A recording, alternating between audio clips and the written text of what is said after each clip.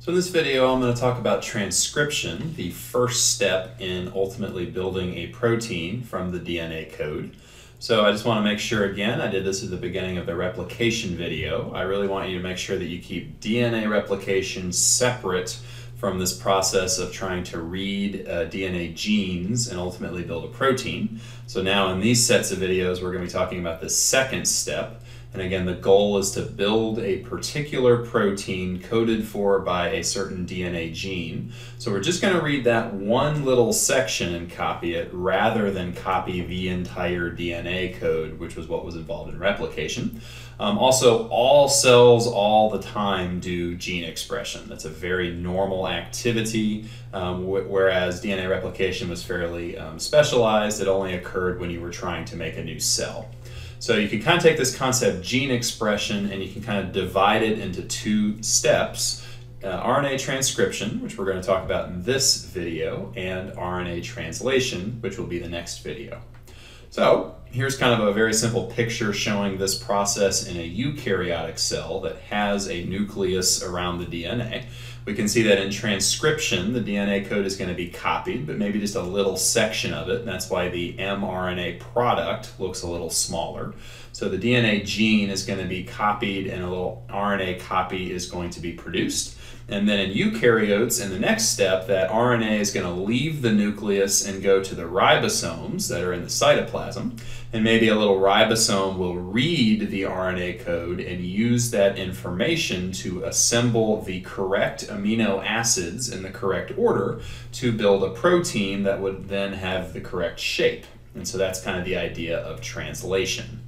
Um, yeah, prokaryotes also do these two processes. Uh, it's just that prokaryotes don't have a nucleus, so both transcription and translation would take place in the cytoplasm. Um, because these both these words both start with trans, sometimes it's easy to mix them up. Uh, the way I try to help students is to think of your root words. Script means writing, so we're just rewriting the nucleic acid code from one nucleic acid to another in this first step. And then we're really changing languages in the translation step. We're going to go from a nucleic acid language into a protein language uh, made of amino acids. All right, so let's go into transcription in detail in this video. You'll see that uh, maybe again, uh, if we call this whole uh, gigantic continuous piece of DNA a chromosome, we'll see that a gene might just be one little segment of that chromosome. Maybe this is one particular gene. Maybe there are hundreds or even maybe thousands of genes on chromosomes. Um, and so we're just going to copy that one little segment. And so maybe a protein comes in and just sort of separates the DNA double helix in that little part and then it can kind of glue the RNA nucleotides together. Notice that the RNA has U's instead of T's um, because it's an RNA, as I discussed in the last video, but this RNA still has A's, C's, and G's, um, and so it's making a copy. And so let's just kind of talk about the steps in case you want to uh, put this in your notes. Um, the steps would be to open up the code, just like we saw in replication. You have to access the nitrogen base code, and so you break the hydrogen bonds between the two DNA strands. Um, the RNAs know which, which strand to copy. Remember that RNAs are also single-stranded, so they're just going to copy one of the DNA strands. Um, but there are just free-floating RNA nucleotides floating around in your nucleus as well, and they'll pair up with the correct nitrogen base, and then a protein will come along and glue the sugar and phosphate backbone together. Uh, then the RNA copy can detach, and the DNA double helix can reform when its complementary strand comes back in and reforms those hydrogen bonds. And so what have we done? We've made a, an RNA copy, and we're going to call that messenger RNA. We'll see that there are lots of other RNAs involved later, so you kind of want to keep track of which RNA is which. So let's just do a little practice to finish up the video. Um, in our first step, we're going to uh, break the hydrogen bonds in between my two strands, and that will separate the two DNA strands.